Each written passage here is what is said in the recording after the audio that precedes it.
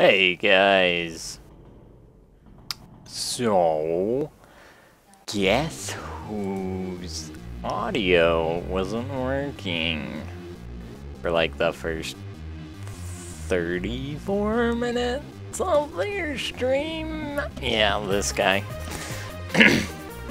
and my, uh,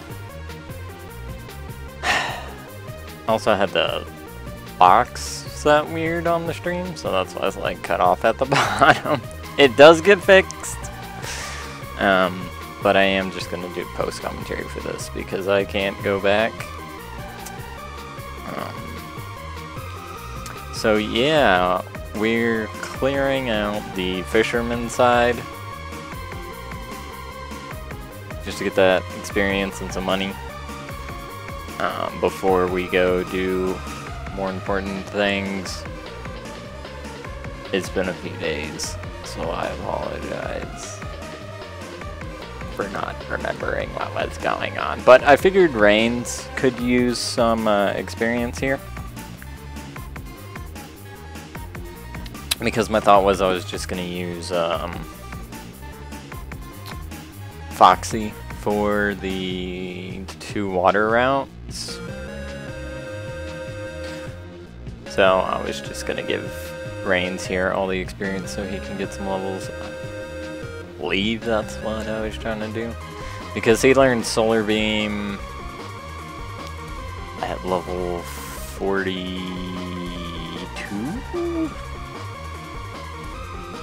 I believe it's level 42. Let me double check. Charizard. No, that's the wrong way. Venusaur. 65. He learned Solar Beam on 65. So, yeah, that's a problem. Um, I end up giving him the TM minor spoiler because none of my guys get that high because none of my guys ever get that high. Like, uh, Charizard learns Flamethrower at 46 he didn't learn Flamethrower by the end of this. I gave him Fire Blast, and we just kind of rolled with that. Um, yeah, 42 Charmeleon, had I not evolved him, and 38 Charmander. So, I mean, like, you... It's almost better if you keep him Charmander until he learns Flamethrower. I think Bulbasaur's like the same way. Nope, Solar Beam at 48. Holy crap. Um, I don't even think my Blastoise got Hydro Pump. Oh, 52 Hydro Pump. Yeah, my Blastoise didn't even get Hydro Pump, so... That's, yeah. My guys, like, never get that high. 47 for Wartortle and 42 for Squirtle. So, I mean, it's almost better to keep them low. Unevolved, rather. Because problems galore here.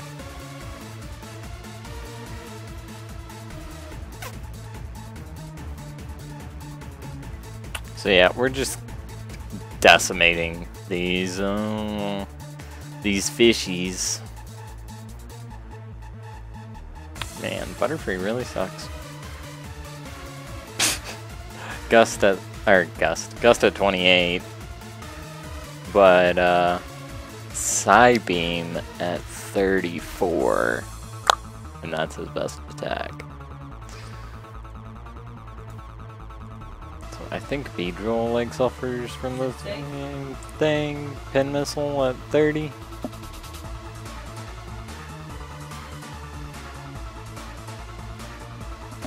So the female is dying, which is a problem.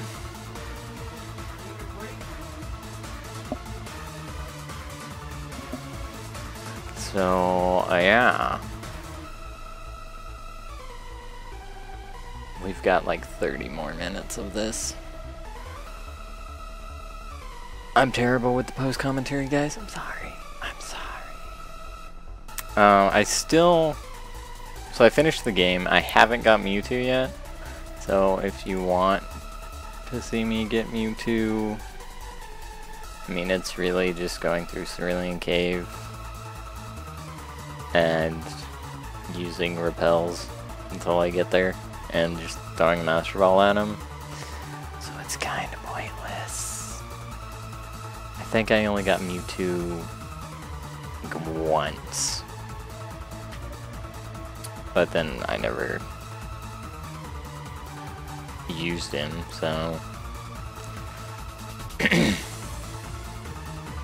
yeah. I wonder...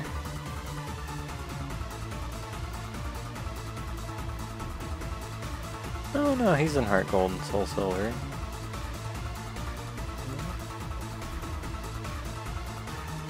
Hmm. Really sucks is they never really gave you a legit way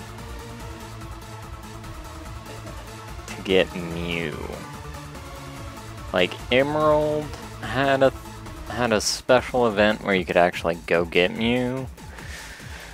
But unless you like hack in that item, um, you can't get them anymore because it was a uh, like one of those you had to go to an event or something to get the item.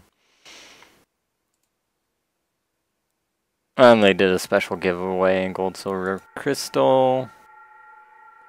Oh, and they did do a special giveaway with Red, Blue, Yellow. Or you could do the, the glitch. Interesting stuff. I've gotten Mew before. Using the gl using, um... I want to say it was called a Monster Brain?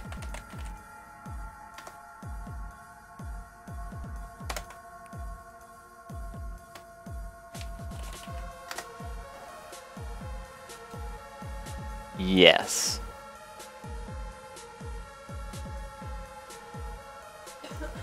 Yep, that was it. So it was a special thing that you could put in your Game Boy and then you plugged your game into it and then you could give yourself any Pokemon, have his trainer ID set to anything for gold, silver, crystal purposes. Um, and you could uh, give them any moves you wanted. Give yourself all the gym badges. Max money, any items, like it was, it was pretty neat. And I use that to get Mew all the time. One of my friends had one growing up.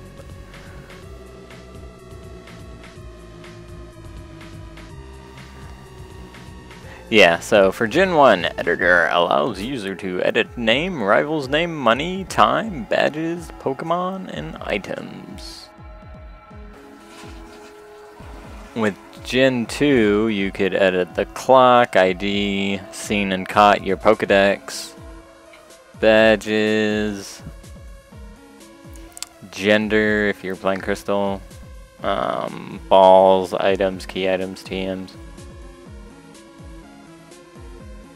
Pretty cool. And you're hearing a wind tunnel because the female decided to turn on the fan.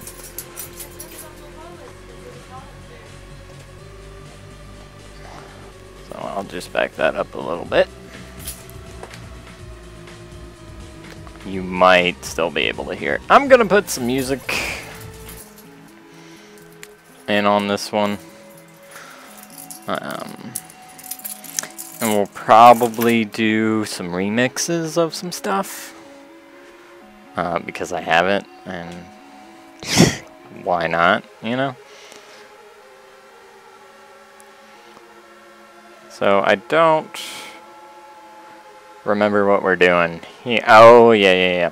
So with these guys, you can give them any drink. It can be a freshwater soda pop or lemonade, but you have to buy one of them and go through one of the uh, the four ways into Saffron City. And that's how you get in there. Uh-uh. And then I just go check my lemonades and one was missing.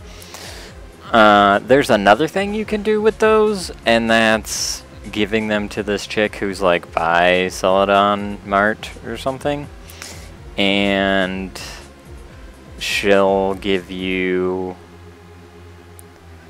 Ice Beam. I know Ice Beam was like the important one. She'll give you three different TMs depending on which drink you give her. Right there, we just got Psychic. Because Abra, or Kadabra, rather, because that's what we have.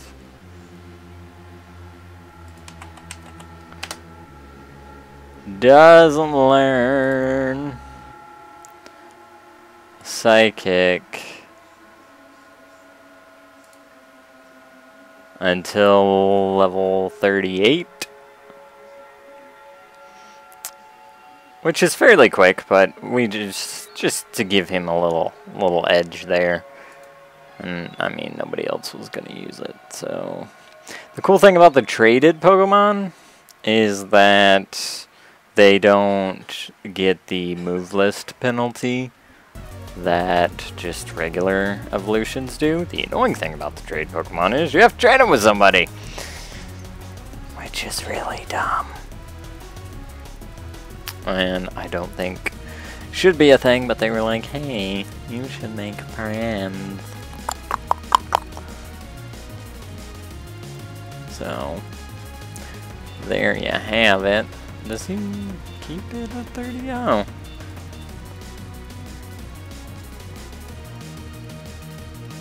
Thirty-six. Huh? Oh, they did bump it up. So it's red, blue. Oh, 42. No, 38. 38. And then gold, silver, crystal is still 38. And then um, ruby, sapphire, emerald. It's 36. And that's fire red, leaf green. And then with diamond and pearl and heart gold soul silver, they moved psychic to level 40. Because they're a bunch of jerks. And then with black and white, it's 46.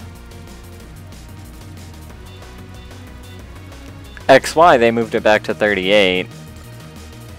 And then with sun and moon, it's back at, it's at 38 as well, so. Yeah. I mean, you can beat the game with low to mid 40 guys, so I don't why I don't understand why they have Pokemon that learn moves at like level 1000. It doesn't make sense to me. Cause that's a lot of grinding or rare candies. And rare candies just make your Pokemon weaker because you don't get the EV stuff. Which I don't really care about the EV stuff, but with rare candies you can really tell. like, you start losing stats. So, that's a bit of a problem. It is a nice way if you just want to get something to evolve or you want to get a move. But uh, I prefer not to do that sort of thing. Yeah, I mean, like, Vulpix here learns Flamethrower at 35, which is already infinitely better than Charizard.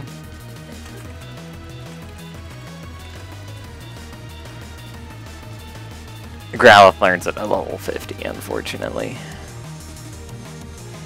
And then, of course, the Pokemon that evolve with stones, except for Eevees, um,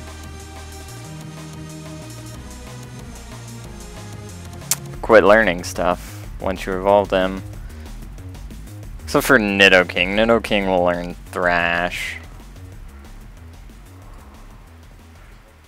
At level 23. Right here we're just buying um, some more lemonades. Yeah, he evolves at level 16 to Nidoran. So if you give him a Moonstone by 20, at 23, then you'll get Thrash. But then you miss out on Horn Drill, which is an instant KO as long as you're not fighting something that's faster or higher leveled than you. You'll miss out on Focus Energy and Fury Attack, which Fury Attack kind of sucks anyway, and Focus Energy's garbage, so... Well, at least with Red, Blue, Yellow. And Gen 2. In Gen 3, they added Helping Hand and Flatter, which Flatter confuses target, but raises its special attack, and then Helping Hand just helps out your partner when you're double battling. And then they added Poison Jab and Toxic Spikes. And 4th gen... Really the only things that matter. Yeah, it seems like to be all they added. I mean, Horn Drill's still on there, but...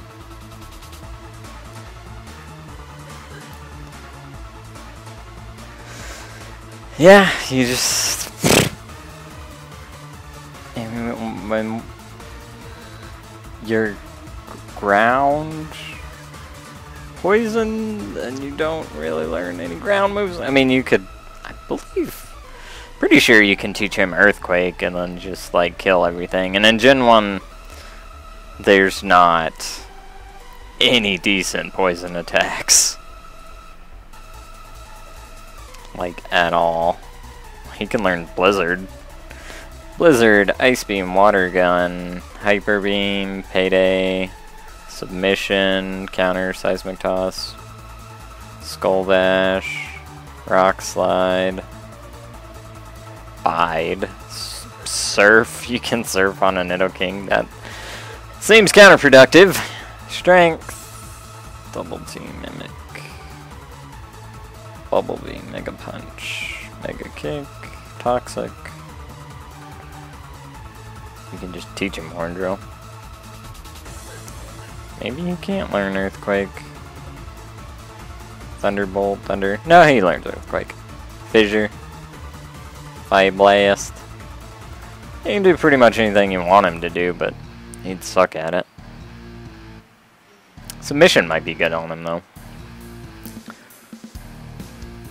Uh, now we're at Silph because I totally forgot this whole area was a thing when I was playing through it. I have no idea how I forgot this. Uh, I was thinking that this happened during like the whole Pokemon Tower thing.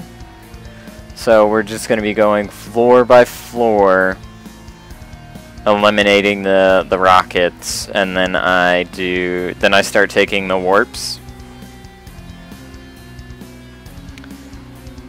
That way I I don't miss anybody. I still might have missed somebody. I don't think I did, though. So I am to put... Well, I'm sure you guys are seeing it. My little smiley face thing is over my real face. Because if you're watching the video and you're hearing my voice and it's not syncing up with me in the video, it's gonna be really weird and like desyncy. So I mean, at least this way it uh kind of remedies that. Just a little bit.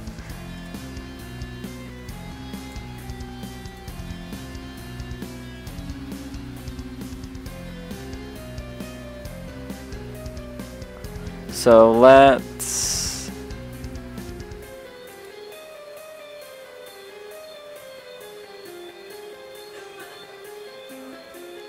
Did Jason just get a tweeter?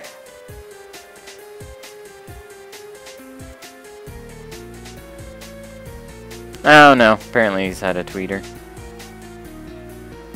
That's weird. I guess Jade just followed him.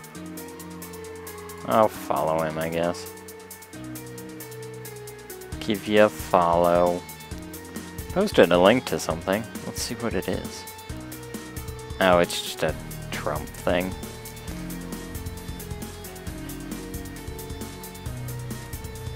So, Jason is very political when he's not doing the videos. So is Ragnats.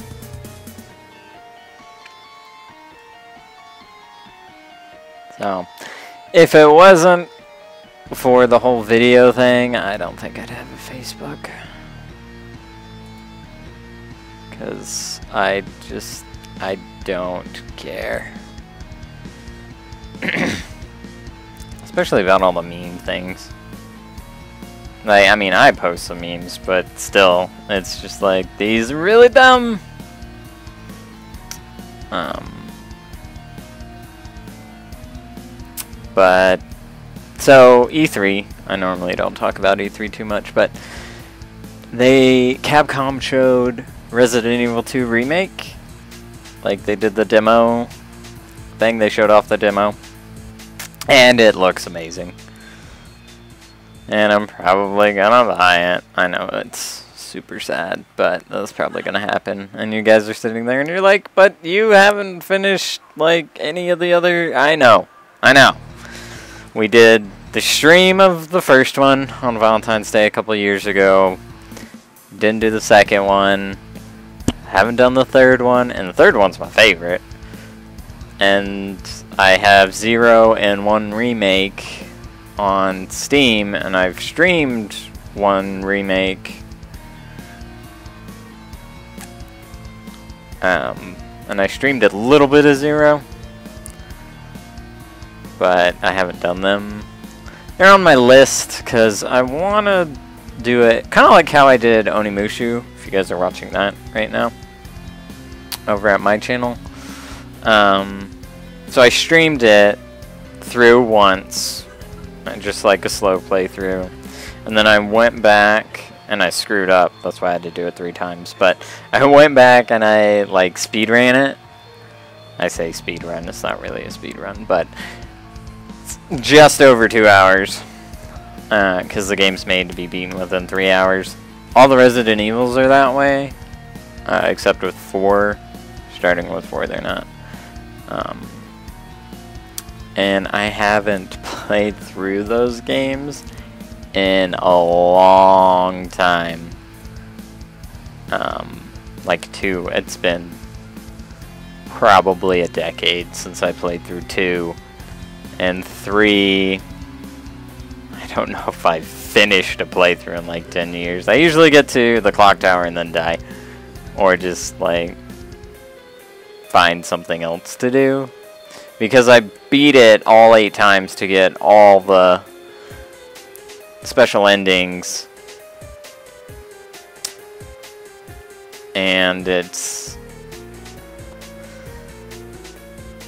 It just, like, after that, I'm like, okay, I've got everything out of this game. But to show you guys, um, I would, for three at least, I would want to beat it in under three hours. Um, probably show a mercenary run. Or the way I do mercenary mode. And then uh, show off all the endings. So I would have to go through and beat it eight times to show off those little end card things. Which, I mean, you can find on like the wiki and stuff. But I feel like I wouldn't be I would be doing you a disservice if I didn't show you that. Because you could go look at the wiki, but if it's just like all in one video and you're just like, okay, cool. Now I don't have to go to the wiki. And if you're choosing to watch my video, that's super great. And you should like not have to worry about all that crap. So that's why we haven't I haven't done that because I'd have to beat it a crap ton of times. One, I'm just being lazy with. Same with one remake.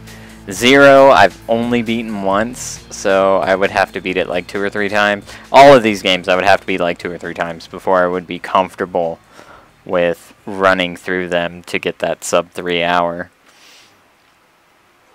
Um, at least twice. Run through them at least twice before I recorded it and it would have to be like when I did Onimusha, I finished it And then that same day, I did the two other playthroughs immediately after and streamed those as well. So, I mean, those were like back to back, so I knew exactly where to go, what to do, blah blah blah, who to talk to, you know, all that stuff. Not that there's anybody to talk to in Onimusha, but still. Um, and that's just, you know, they're very puzzly, and I forget some things. It's not. It's different with like Zelda, where well, like Ocarina of Time at least. Where I can just pick it up and just go. Uh, and not really have to worry about anything. And I've probably beaten Ocarina of Time less than I've beaten Resident Evil 3. Um, but with 3, it's just very... Just how combat is, it's really easy to get screwed. Um, there's a couple parts where it's really easy to die and just really easy to get just beat up in a corner. So if you're out of practice with it, or even like hitting the doors, like as soon as you get near that loading, their little loading points and stuff, like if you don't have that down, it's it becomes a problem. At least for me, anyway. And I know, 2, like Resident Evil 2, I know how to do it. Like, Leon's A, I know how to do it really well, because that's the one I've played the most. Leon's A and Claire's B. Uh, the other side of that, which apparently is now the canon, I heard some people talking, um, and they said, well, Claire's B or Claire's A and Leon's B is canon because Sherry mentions this very specific thing in 6 that doesn't happen the other way, so this has to be the way that you do it. And I was like, okay, well that's stupid, but whatever. Um, I always assumed Leon's A was canon, and everybody else did. And like even the novels have Leon's A as being the canon, or being what they went with. Um. So yeah, it's just I'm out of practice, and I need to find time to just really sit down and crank them out, which I, I mean, I could be doing right now, but I've got monthlies that I'm backed up on, this being one of them, uh, which is, you know, I've been sitting on this footage for a couple days now. And like I need to go back and do audio for this because I was a dummy. And I just putting it off. I know it's I like I played God of War. Like recorded some God of War Ghost of Sparta. Um so you have that to look forward to and then I started uploading Duke Nukem uh, Duke It Out in DC, which was recorded a long time ago. I've been sitting on this footage. Let's see. Since December. When did I finish it? December. Yeah, I did Duke It Out in DC in two days. Um, and then Life's a Beach. I've had since February.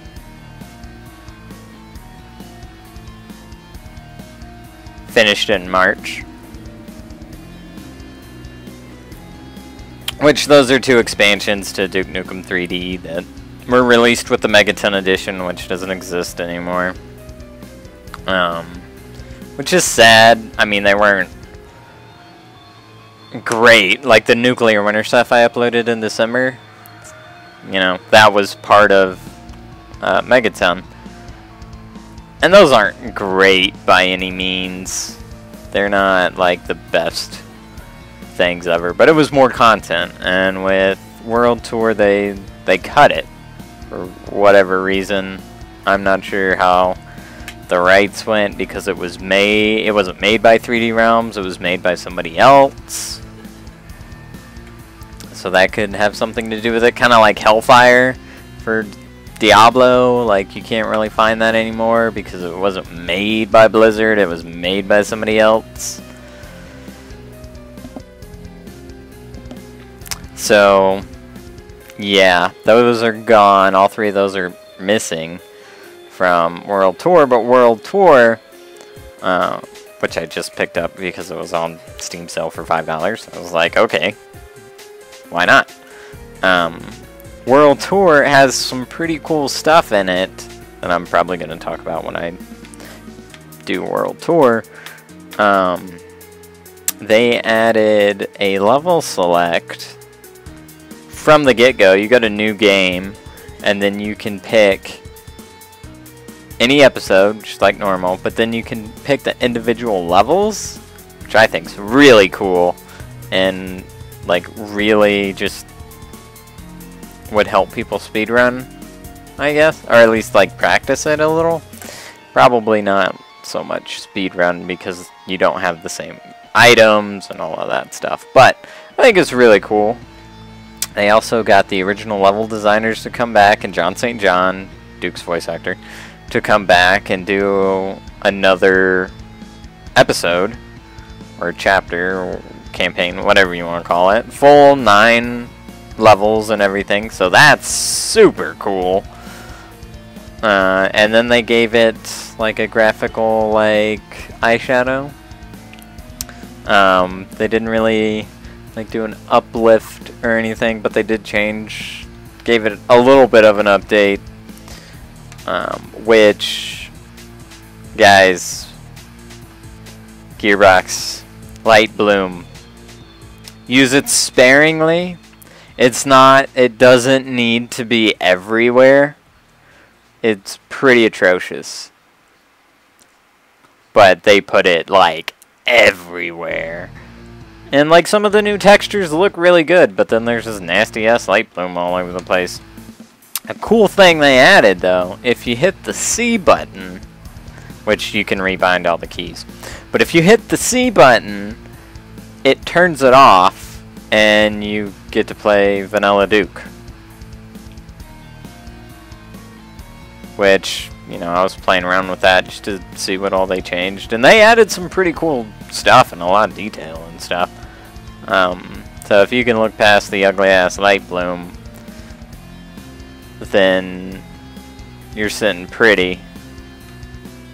uh, but yeah, it's it's pretty cool. So that's coming up after I get uh, Duke It Out in DC and Life's a Beach uploaded, which DC's 13 videos because I got lost at one point and Beach's 9 videos because I cut out me getting lost. So I think we're fighting Giovanni right now. I haven't really been paying attention.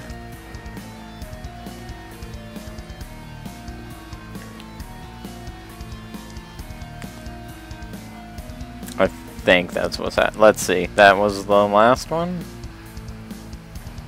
No, it's the scientist. Okay. Giovanni should be coming. Maybe he's in the uh, next video. Maybe we didn't get that far. Yeah, we didn't get that far. And here's about the time that I notice that my sound's not working, and I'm like, because I started chewing gum, and I was like, how loud is this gum gonna be? And then was like, oh crap, there's no audio. So there you go. There's me doing post commentary. I know it's super bad. I'm sorry, guys. But uh, yeah, thanks for thanks for watching. If you actually did stick around and watch this one, so cool stuff in the future. Resident Evil 2 remake. Go check it out.